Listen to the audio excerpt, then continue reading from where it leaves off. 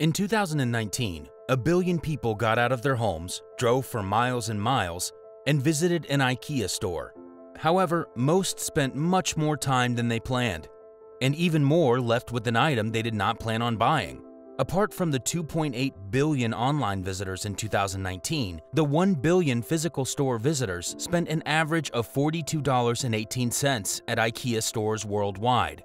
In comparison, in the same year, each of Walmart's 14.3 billion visitors spent an average of $35.97. IKEA makes you want to drive for hours, spend more money and time inside the store, and leave with the stuff you cannot pronounce and never knew you wanted. The beauty of it all is, your IKEA experience is a carefully planned, beautifully executed neuromarketing masterpiece. Unlike Costco, which is often described as a scavenger hunt, the IKEA experience is intentionally boring and trivial. Every IKEA store follows the same map that starts at the showroom with everything in its natural setting, then goes through the market hall to pick up several things you haven't planned on buying, and finishes at the warehouse to pay while getting swayed by the smell of a fresh bakery. Every IKEA, though, just like its map, comes with two more essentials the environment and the service. The experience as well has two main goals making you want to come to IKEA, and once you are here, making you spend as much time as possible inside.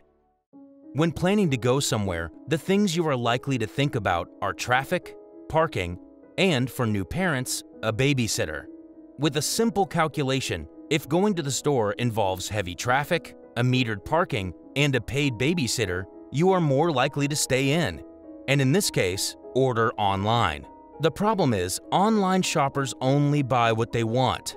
For IKEA, the 320,000 square feet store brings with itself an enormous parking lot.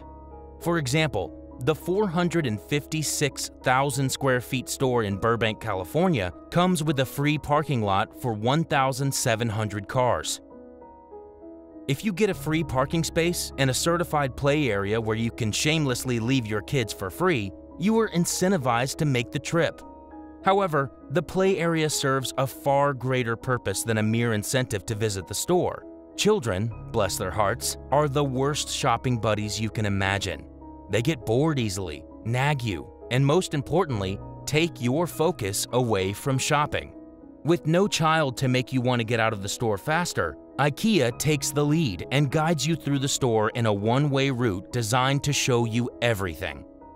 Giving up control of where you go inside the store means letting the store decide what you see.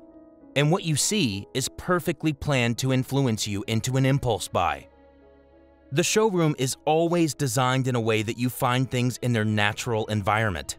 For example, IKEA showrooms have whole living rooms set up with such attention to detail that when you visit the store, the couch seems to go perfectly with the rug, and the table, and the vase, and the floor lamp, and everything around it.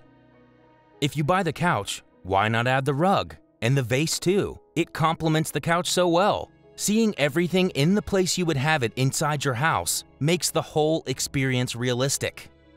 More importantly, Having the setting in a real-life environment allows to place expensive things next to extremely expensive ones, effectively making you feel like they are dirt cheap. For this living room, for example, a similar floor lamp might cost $29 on Amazon, but at Amazon, you see it next to the one that costs $15. At IKEA though, when you see it next to a $599 sofa and a $399 armchair, the $59 LED floor lamp or even the $129 mirror seems like a steal. More importantly, because you are doing a one-way guided shopping, you will think, just in case I want it later, I don't want to come all the way back. And eventually, you decide to get it. And the moment you decide to get it, you commit an impulse buy which turns your whole shopping mindset from what do I need to buy to what more should I get. Then there is the cheap food.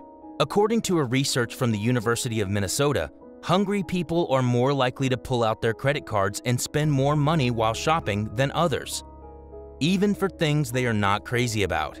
In the study, hungrier shoppers spent an average of 64% more money than those less hungry.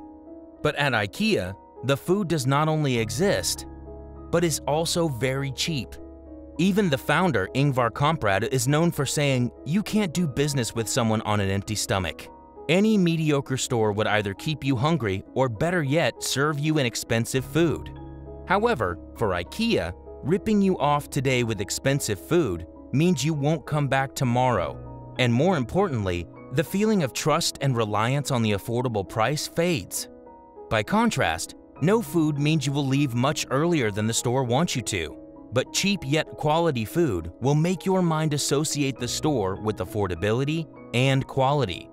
At the end of the day, your mind won't relate IKEA to the $599 couch, but to the $5.99 meatballs and gravy, vegetables, and mashed potatoes. When the time comes, as well, you cannot be let go with the stress of making a payment. Everything about your IKEA experience must unequivocally stay cheap but good. Thus, the sweet bakery smell. These bakeries are strategically located at checkouts, so you would 1. Smell the sweet scent of baking and sugar, which takes out the stress of paying, and 2. Pick up something sweet to conclude your IKEA experience with. Effectively, the next time, you will be incentivized to drive for miles, spend hours, and pay hundreds of dollars for the IKEA experience. If you liked this video, consider subscribing for more giving it a thumbs up, and checking out these other videos.